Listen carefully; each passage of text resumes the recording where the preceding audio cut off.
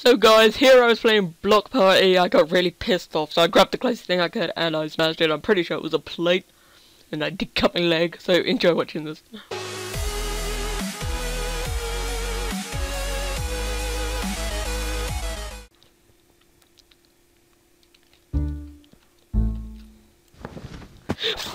Fuck this! I need to- I'm gonna go fucking smash somebody, I need-